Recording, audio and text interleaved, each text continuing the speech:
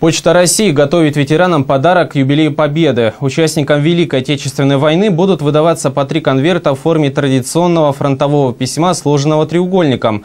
При пересылке по территории России такой конверт не потребует доклейки марок.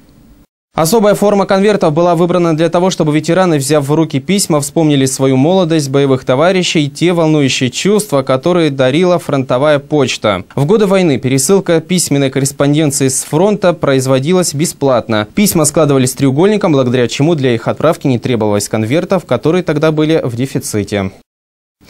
Еще одна хорошая новость для ветеранов. Все участники Великой Отечественной войны с 1 по 15 мая 2010 года смогут бесплатно воспользоваться городским общественным транспортом Москвы.